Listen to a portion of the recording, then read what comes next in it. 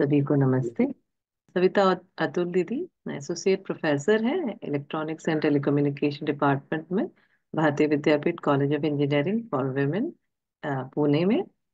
दीदी ने वर्कशॉप इस अगस्त में ही 2023 में ही पीआईसीटी में हुआ था, उसको, उसमें अटेंड की है। दीदी कई सारी वॉल्ट्रिक एक्टिविटीज़ में भी जुड़ी हुई हैं, ऑर्गेनाइजेशन जो दीदी ने मेंशन किया है वो है ए ए सी सी आई के साथ adolescent total health awareness and development in school and college students तो दीदी आपका स्वागत है। आप सुनना चाहेंगे? नमस्ते। नमस्ते नमस्ते नमस्ते सभी को। अ, मैं सविता अतुल इटकरकर मैं 1992 से शिक्षण क्षेत्र में कार्य कर रही हूँ। पहले के 15 साल मैंने पॉलिटेक्निक कॉलेज में पढ़ाया। और अभी 16 साल के ऊपर हो गया मैं महिला अभियांत्रिकी में पढ़ा रही हूँ। मैं हमेशा से ही अपने विद्यार्थियों से जुड़ी हुई हूँ। मेरे उनके साथ बहुत लगाव है। मैंने पाठ्यक्रम के शिक्षा के अलावा उनके निजी सवालों का जवाब ढूँढने में भी मदद की है। मेरा बचपन एक गाँव में हुआ है गुजरा है, महाराष्ट्र में, सांगली ज़िले के अंकलखूब गाँव में। मेरे घर में, परिवार में दूसरों की मदद करने की संख्या बहुत ज़्यादा थी। इसलिए ऐसे वातावरण में रह के मैं भी हमेशा से अपने से ऊपर उठकर दूसरों की मदद कैसे की जाए, इसके बारे में सोचती थी और वक्त आने पर मदद करती थी। मैं जब कॉलेज में पढ़ती थी, हॉस्टल में रहती थी, तभी मदद करने का ये जो मेरा आदत है, ये रिवाज ही बन गया है मेरे जीवन में। मैं अपने कॉलेज में राष्ट्रीय सेवा योजना विभाग का कार्य 2007 से संभाल रही हूँ। इस योजना का मुख्य उद्देश्य ही मूल्य शिक्षण से युवाओं का व्यक्तिमत्व विकास है। वैश्विक मानवीय मूल्यों के विषय पर इसमें विविध कार्यक्रम स्वयं और समाज के लिए आयोजित किए जाते हैं। इसका ब्रीद वाक्य ही नॉट मी बट यू मतलब मेरा जीवन का मुख्य उद्देश्य मेरे लिए नहीं, पर आपके लिए ऐसा है। अभी मैं दूसरे पॉइंट पे आती हूँ कि मैंने अभ्यास एक और दो में क्या समझ बनी? अभ्यास एक में अत्यंत सरलता पूर्वक स्वयं को स्वयं के द्वारा देखने का परिचय करवाया। मैं का मतलब शरीर और चैतन्य दोनों का मिलाप है। शरीर जड़ है और चैतन्य तरल है। ये मैं जान चुकी हूँ। अभ्यास दोन में मैं यानी चैतन्य और शरीर के बीच में होने वाले आदान प्रदान को देखने का सही तरीका विभिन्न अंगों से समझने का प्रयास किया है। अभ्यास एक से ये समझ में आया कि शरीर की जरूरतें सीमित है, लेकिन चैतन्य की जरूरतें निरंतर है। सही समझ, सही भाव रखने से ही निरंतर सुखी रह सकते हैं। शरीर का पोषण करना हमारी ज़िम्मेदारी है, ना कि उसका शोषण करना। मुझे बहुत अच्छा वाक्य लगा कि हम जो खाना खाते हैं, हम जिस हवा में रहते हैं तो वो हमारे शरीर का पोषण करने के लिए है, जो पानी पीते हैं, जो हमारी मुख्य जरूरतें है तो उसका हमें बहुत अच्छे से ख्याल रखना है। संवेदना सेंसेशन और फ़िज़िकल फैसिलिटी मतलब भौतिक सुविधा से शरीर को निरंतर सुख नहीं मिल सकता है। और मैं इसके ऊपर बहुत सालों से काम कर रही हूँ। मैं कपड़े और गहने या कुछ भी चीज़ हो, खाने की चीज़ें, कभी भी मैं ऐसे फेंक नहीं देती हूँ। मैं उसका सदुपयोग कैसे हो, जितना ज़रूरत है उतना ही लेने का, ये मैं अपने अंदर ये मैंने आदत डाल दी है।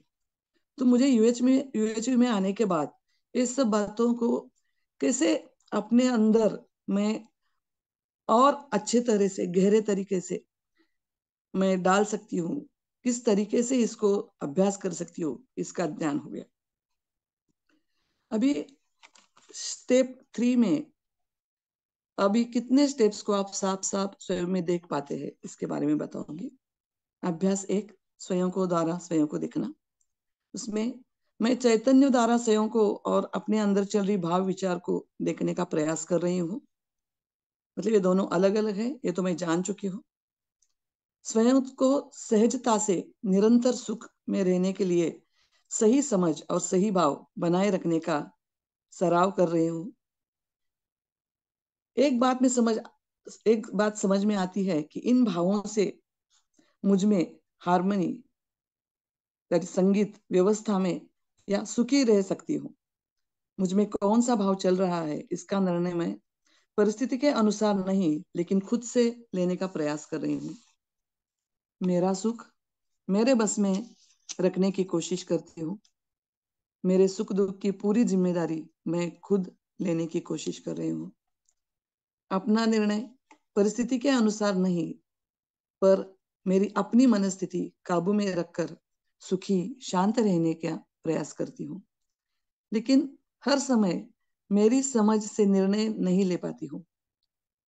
बहुत सारी मान्यताओं के आधार पर जब निर्णय लेना पड़ता है तो मैं सुखी नहीं हो पाती हूँ। लेकिन हर समय मैं अपने अपने मन से निर्णय नहीं ले सकती हूँ, इसका थोड़ा सा दुख होता है।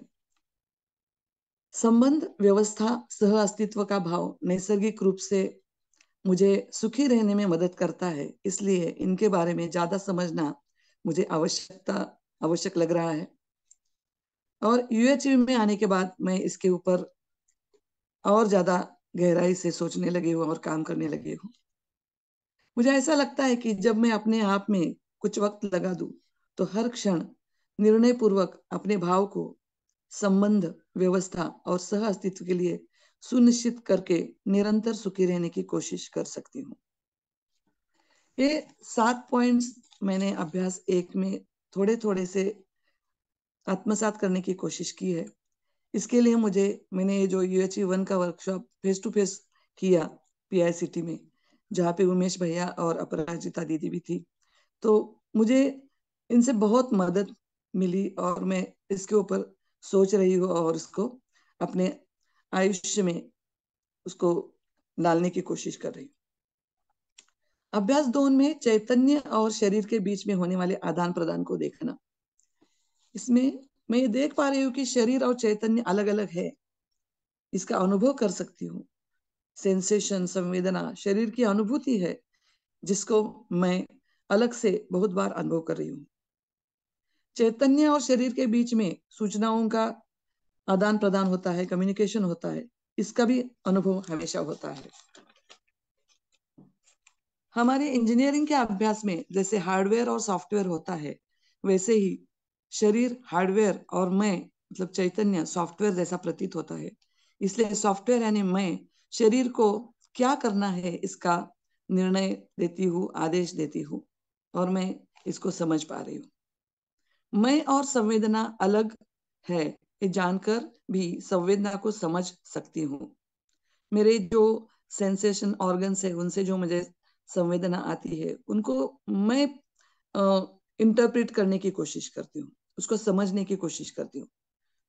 ये जो बाह्य परिस्थिति है, अपने शरीर को, शरीर के ऊपर प्रभाव करती है, अपने मन के ऊपर प्रभाव करती है, जैसे गर्मी, ठंडी महसूस होना, कुछ अच्छी चीज़ें दिखना, कुछ खाने का अच्छा या बुरा, कुछ टेस्टी है, कुछ थोड़ा कम टेस्टी है, कुछ नमक ज़्यादा है।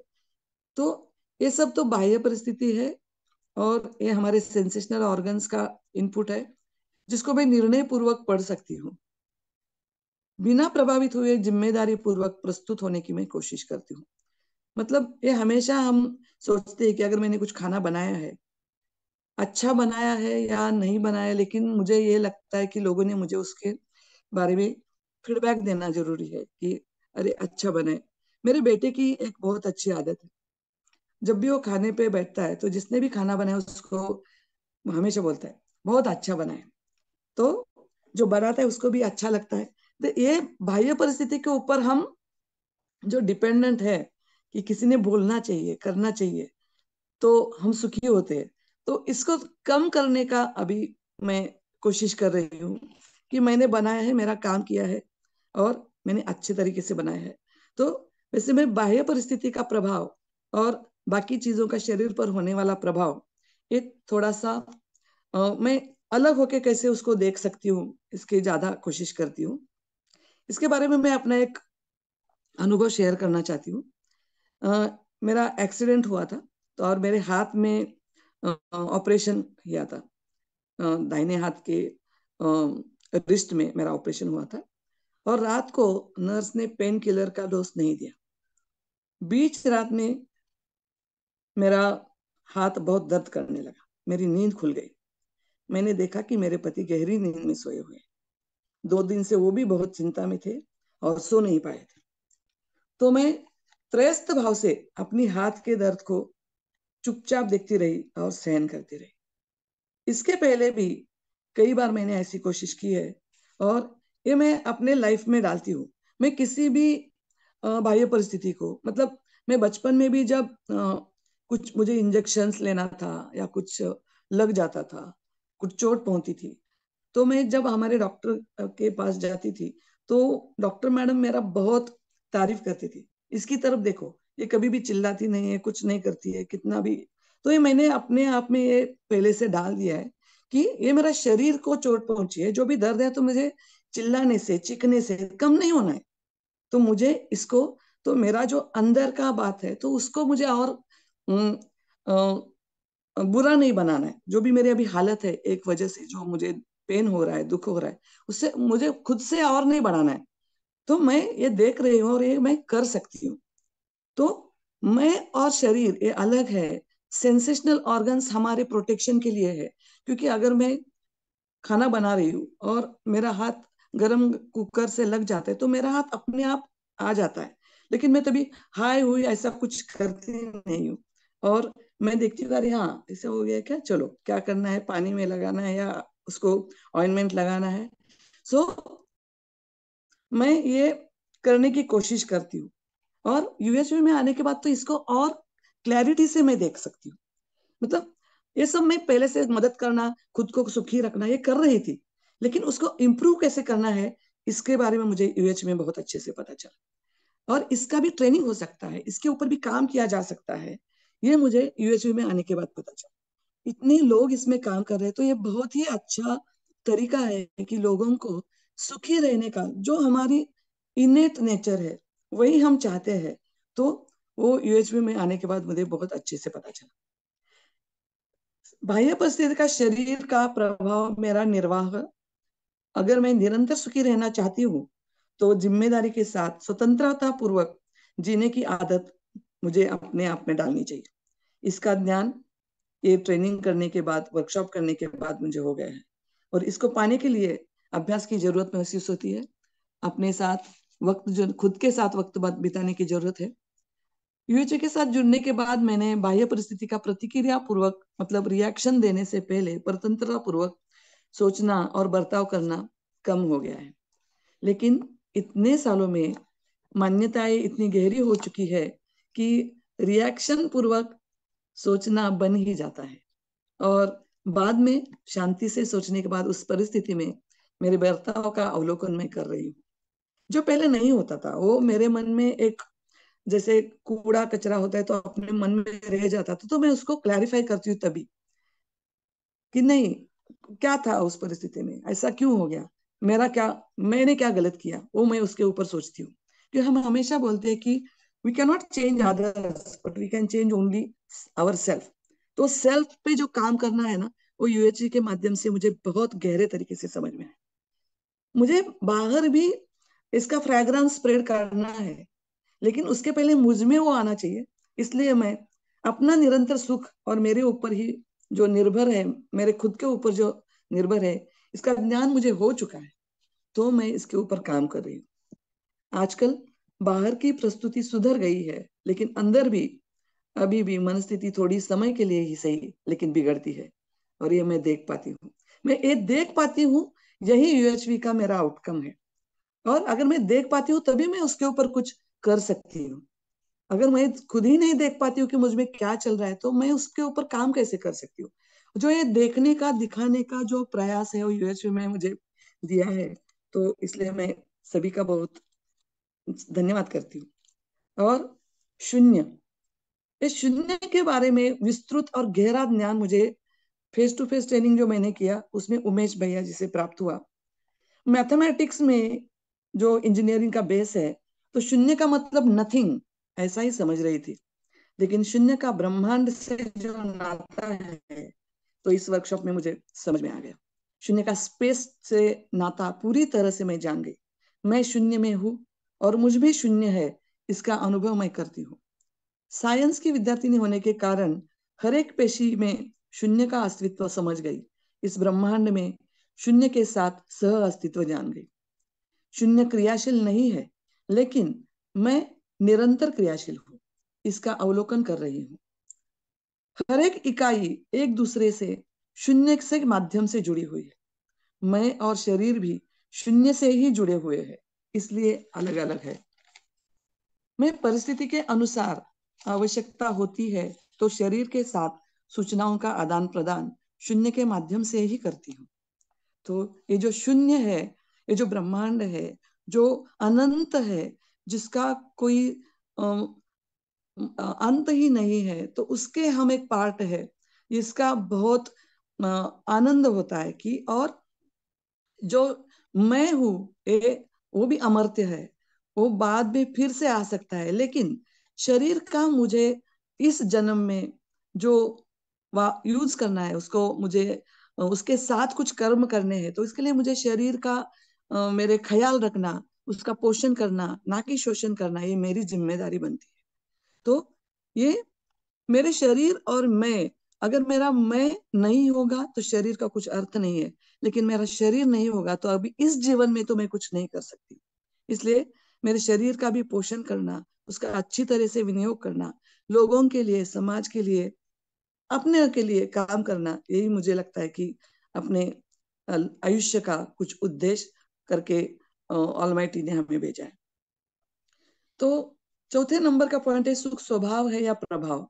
इस पर कितनी स्पष्टता बनी है? सुख स्वभाव ही है, इसलिए अगर मैं चाहती हूँ तो हमेशा निरंतर सुखी रह सकती हूँ। मेरी सुखी रहने की चाहना अत्यंत नैसर्गिक है। वैसे ही, हर दूसरे मैं की भी चाहना सुखी होना ही है। कोई भी प्रयत्नता पूर्वक दुखी होना और दूसरों को दुखी करना नहीं चाहता है। लेकिन निरंतर सुखी रहने के लिए ज़िम्मेदारी के साथ प्रयत्न करना ज़रूरी है और किस तरह से इसको पा सकते हैं, इसका ज्ञान यूएचवी को समझने और आत्मसात करने से आ रहा है।